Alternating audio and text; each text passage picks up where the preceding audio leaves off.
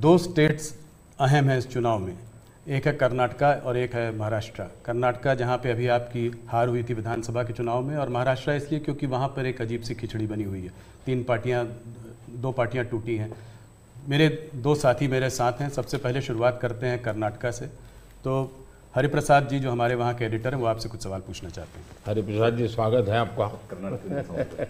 ಕರ್ನಾಟಕದಲ್ಲಿ Neha Hiremath murder case ಬಹಳ ಚರ್ಚೆ ಆಗ್ತಾ ಇದೆ Neha killed inside the campus by Fayaz. Even JP Naddaji rushed to her house. आप क्या सोच रहे हैं ये अभी, ये फोकस शिफ्ट हो रहा है क्या कर्नाटक का चुनाव का फोकस ऐसे इश्यूज़ को शिफ्ट हो रहा है देखिए, नड्डा जी का कार्यक्रम वहाँ चल रहा था और इतनी बड़ी घटना घटी थी। और ऐसी चीज़ों में हमें वो किस दल के थे, वो कांग्रेस के थे, उसकी बेटी की हत्या हो गई तो हमारा क्या? ये हमारे संस्कार नहीं है, न ही हमारी सोच है। और एक मानवीय संवेदना का विषय है। और मैं मानता हूँ कि अच्छा हुआ अध्यक्ष जी ने इतनी चुनाव की आपाधापी में भी उनके सांत्वना देने का प्रयास किया है। ये पूरी तरह मानवीय व्यवहार है। मैं भी, अब मुझे, मैं बताता हूँ कि शायद कौन सा चुनाव है, मुझे याद नहीं है। लेकिन राहुल जी का कहीं पर हवाई जहाज़ में कुछ गड़बड़ हुआ तो मुझे पता चला तो मैंने तुरंत उनको फ़ोन किया। मैंने कहा भाई आपको कुछ दिक्कत हुई है क्या हुआ है?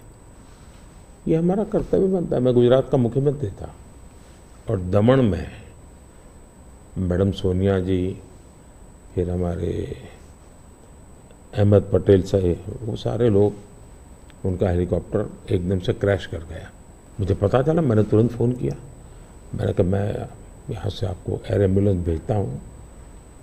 तो अहमद भाई ने मुझे कहा, नहीं अभी बिल्कुल हम लोग सलामत है। ये बात ठीक है, हेलीकॉप्टर को नुकसान हुआ है, लेकिन हमें कुछ तकलीफ़ नहीं हुई है।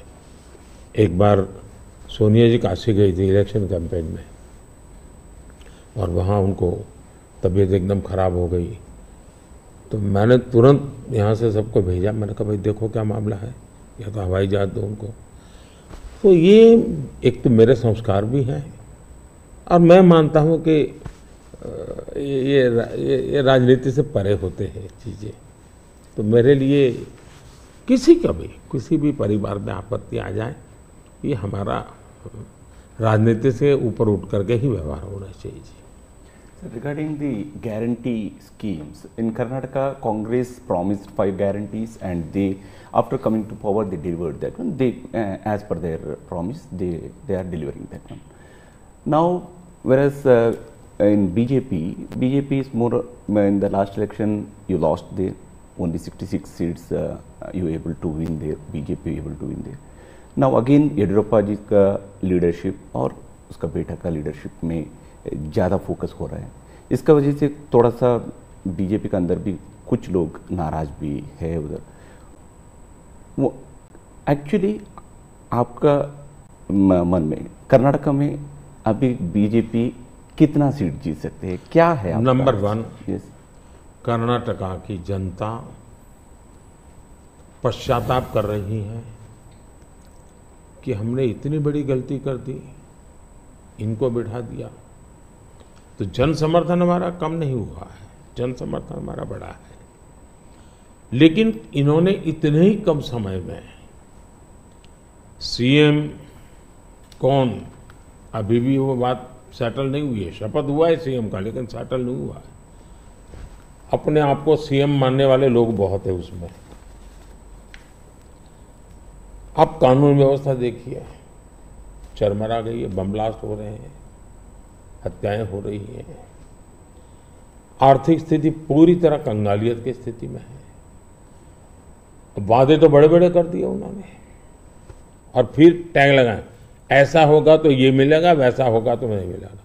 मतलब आप जनता के साथ धोखा भी कर रहे हो। जब हमने कहा कि भाई हम इन इन लोगों को आयुष्मान कार्ड देंगे मतलब देंगे, फिर इफ्स एंड बट लगा करके उसमें बेईमानी नहीं करनी चाहिए। अभी जब हमने कहा कि हम सत्तर साल से ऊपर के, किसी भी वर्ग के व्यक्ति होंगे, इनको आयुष्मान कार्ड देंगे मतलब देंगे। आप में ये हिम्मत होनी चाहिए। उन्होंने किसानों की जो योजना थी, वो रद्द कर दी। किसान सम्मान निधि। कोई कारण नहीं है इस प्रकार से करने का। अब बता, आप कोई सोच सकता है, जब बेंगलुरु दुनिया में हमारा बहुत बड़ा देश देश की इज़्ज़त बढ़ाने में बेंगलुरु का बहुत बड़ा रोल है। दुनिया में जब जाते हैं ना तो बेंगलुरु कहते ही, ऐसा लगता है वो जैसा परिचित है। टैंक हब के रूप में जाना जाता था। आपने देखते ही देखते उसको टैंकर हब बना दिया। और टैंकर में भी माफिया सही चल रही है। पानी के लिए लोग तरस रहे हैं।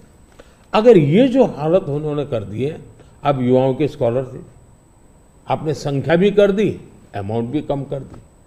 यानी एक के बाद एक आपने ऐसे नेगेटिव काम किए हैं, जिन मुद्दों को लेकर के वोट मांगा, उन मुद्दों को आप वोट दे नहीं पा रहे अच्छा डेप्टी सीएम वो अपने भाई के लिए वोट मांग रहे हैं।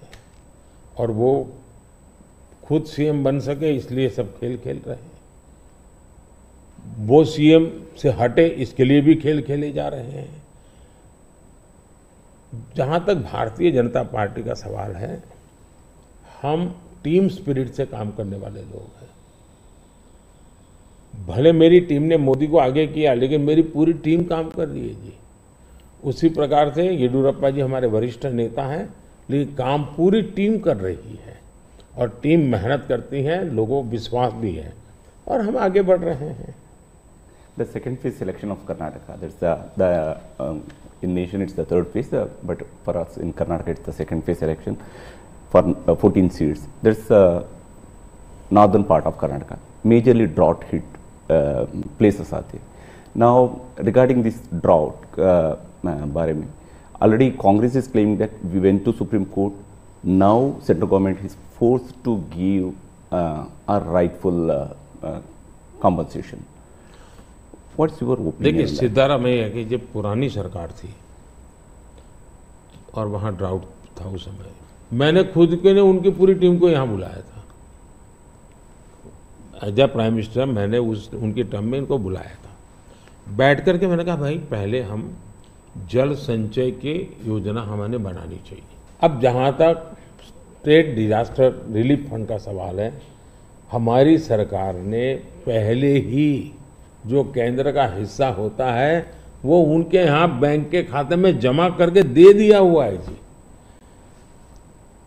हमारी इंटर मिनिस्ट्रियल टीम, उसने भी प्रभावित क्षेत्रों में जो नियम है, पद्धति वो जो हमने नहीं बनाई, कई दशकों से है उसके अनुसार वो टीम वहाँ गई है। जा कर के उसने सर्वे किया है। और हर बार ऐसा होता है, जैसे मेरे यहाँ गुजरात में भूकंप हुआ। तो मैंने एक मेमोरेंडम भेजा। भारत सरकार ने एक टीम भेजी, उन्होंने सर्वे किया, उन्होंने हिसाब किताब लगाया। अब ये सारी प्रोसेस चल आचार संहिता आ गई। तो हमने इलेक्शन कमीशन को कहा भाई हमारे सामने ये विषय है, हम इसको, जैसा ही आप परमिशन देंगे, हम देना चाहते हैं। एनडीआरएफ के तहत अब राशि रिलीज़ भी कर चुके हैं उस नियम के अंतर्गत। मोदी जी, थोड़ा सा हम